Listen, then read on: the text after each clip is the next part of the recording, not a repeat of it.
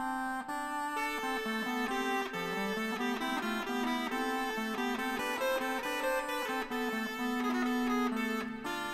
Gayle Neuman here again. We're going to take the piece of cane that we took the bark off of, and we're now going to do the profiling, which helps us to then bend the cane in half and uh, start making the reed. So we've only taken the outer amount of cane off. We're also going to want to sand the inside of it. This is some 400 grit sandpaper. You can also use 200 grit sandpaper. What we want to do is just make it a little smoother on the inside.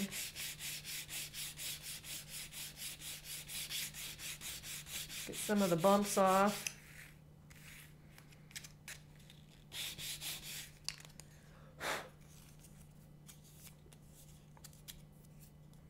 And you can just feel it with your fingers, see if it if you've gotten the ridges off. It needs a little bit more. It goes a little faster with 200 grit, 220.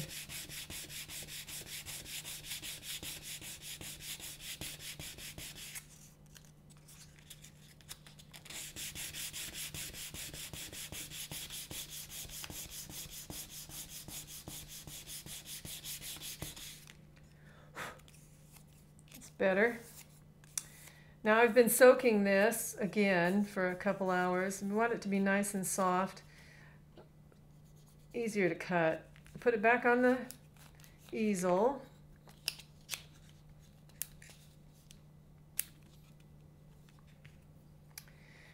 And take off where we left off before.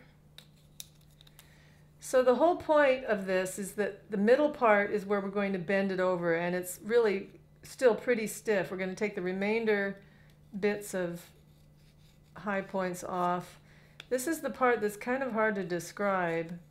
I usually thin it out to a very even dimension and it's usually about half a millimeter is what I'm taking off of the whole piece and especially just evening it out and if you can see, follow the grain of the cane. Just take the high parts off.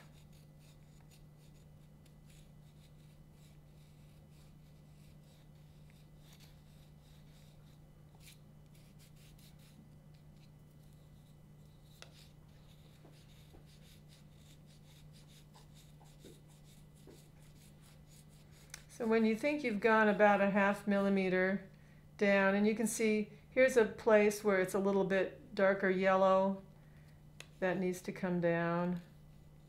You can kind of go by visual color. So it's getting a little more even.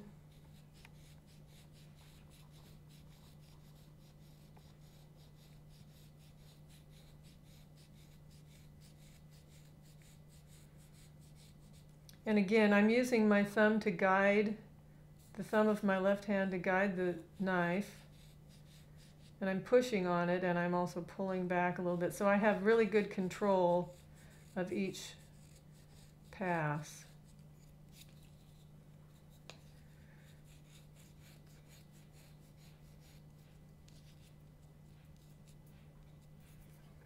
Get it wet again.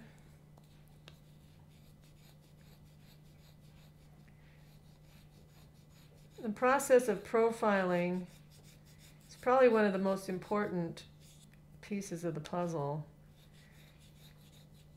I don't know if you can see it, but what we're going to try to do is to make this area right in the tip thinner so you can see it's it'll slant down like this at this angle.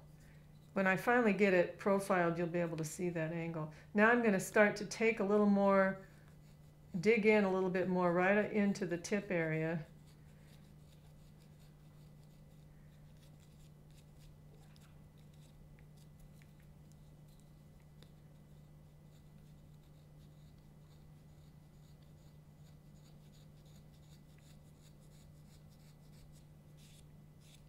If we can see it yet. A little bit of a dipping in there.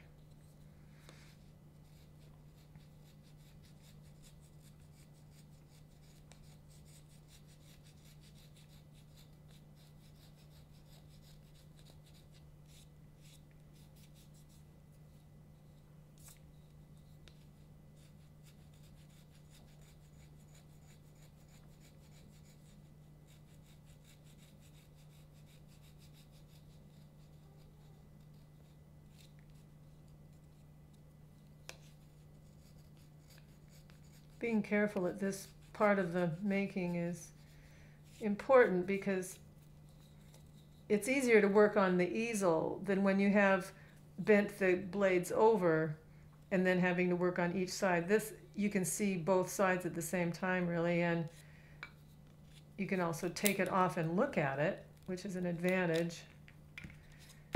You can see through it a little bit where the darker and lighter places are. Whereas when you have it bent over, you can't really do that.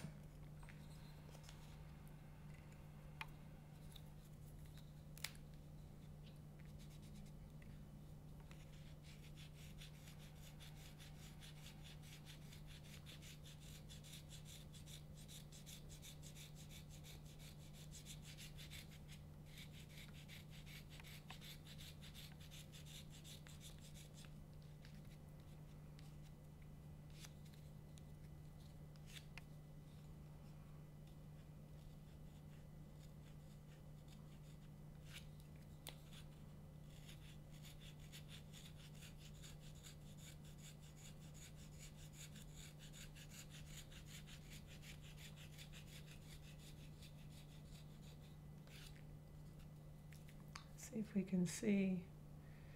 Is that coming through the little dips right here?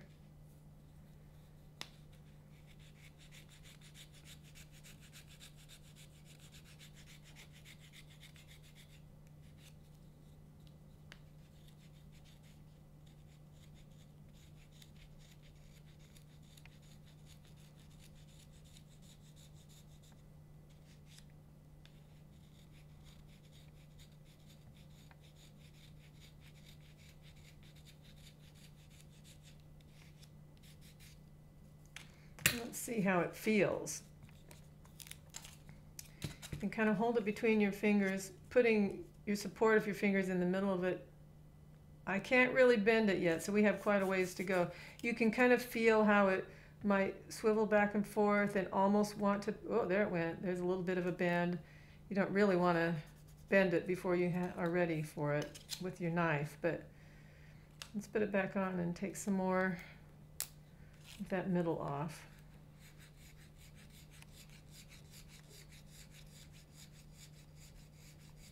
So at this point, I'm also trying to get an even line from here to the middle. There's kind of an imaginary imaginary line right here in the middle of the cane. You can draw that in, but it would be pointless because you keep scraping it off. So just kind of imagine this middle line and an even scrape from here to the middle on both sides, kind of in mirror image of each other. So I'm coming back a little ways and then as I get to the middle, I'm bearing down a little more, so I take a little more cane off in the middle. Starting back.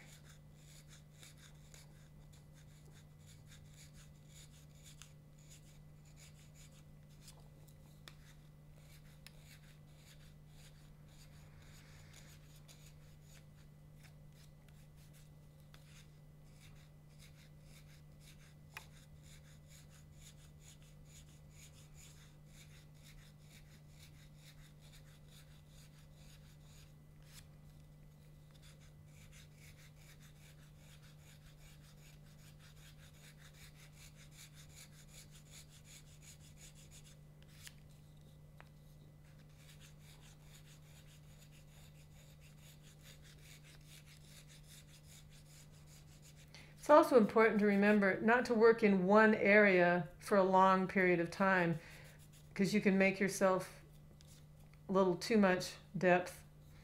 You want to kind of move around, take a little bit off of one part and move over and just keep moving.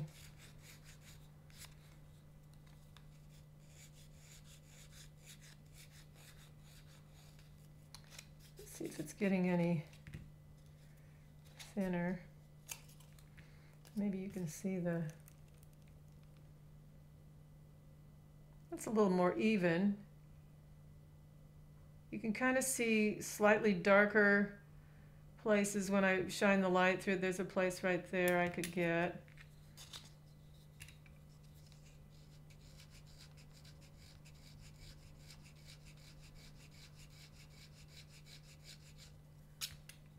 See what that looks like. A little better.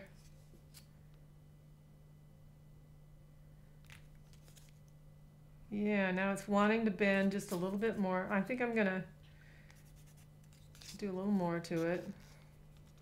You don't really need the rubber bands at this point when it starts to get toward the end. You can really hold it down pretty easily with your fingers down here.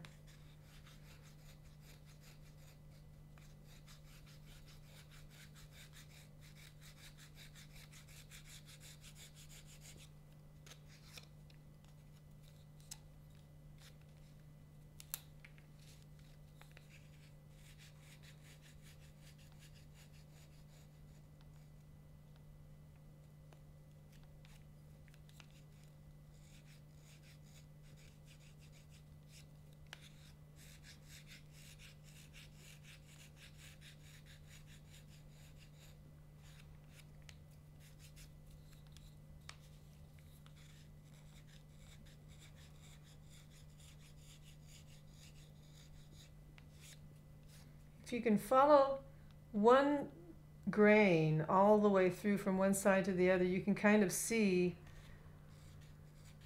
what needs to be taken down.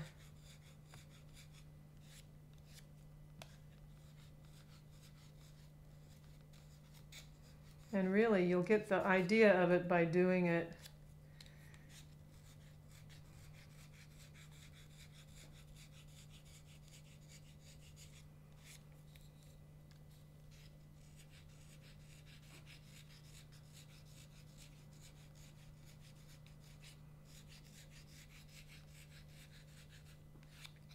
Let's see if we can see that profile. I think it's more clear now. It kind of dips right here in the middle.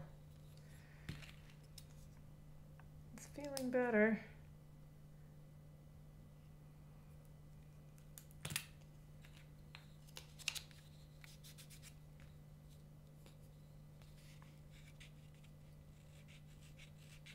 Now you can resort to sandpaper at this point but you always get more off and you have a lot of control with the knife.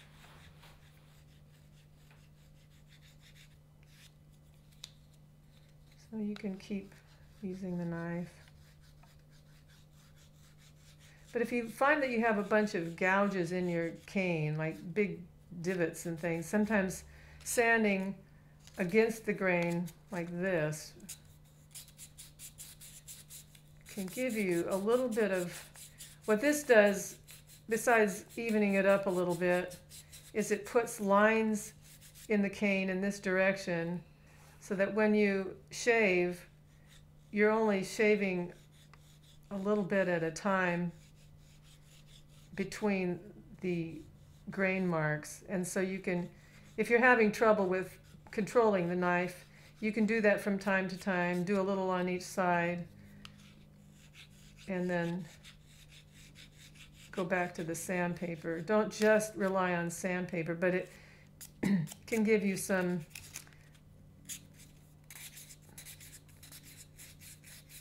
can give you a little bit of help.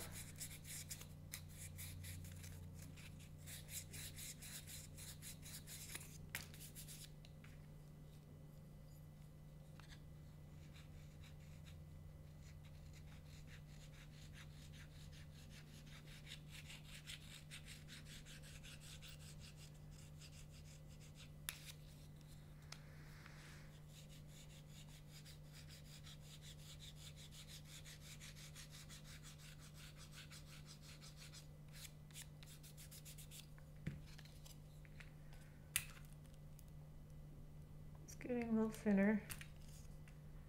I'm going to try bending it over now.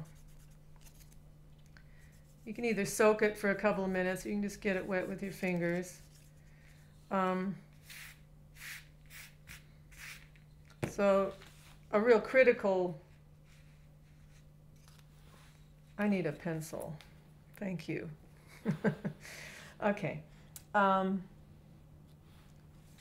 marking this middle line, now is the time to mark the middle line. I mark it there and then turn it over and mark the middle again because inevitably when we mark these wire lines, they're not exactly perfect. There's nothing about this process that's exactly perfect. It's without machines. You have to do it by hand. So I kind of size it up, get it completely straight this way. If it's too, I have kind of long fingers, and if you're holding a contrabassoon piece of cane, you might not be able to grab it from both ends, but I need to grab it with both ends with my fingers. You're holding it steady. And then you put a little bit of pressure with this index finger, and you just have to trust that it's going to bend over uh, straight. Keep it really, really perpendicular to the blade. And then you just pull down. And that's the sound you want to hear. All of these little fibers at the tip of the cane breaking apart. Good. Now I usually take little pair of scissors and just snip off the little teeny fibers that are sticking up just so we'll be opening and closing this maybe three or four times. So it's good to cut those off because sometimes when you unfold it they don't want to the fibers don't want to go and match right back up again. This way you cut that off and it's just perfect so next time we'll take off from this point.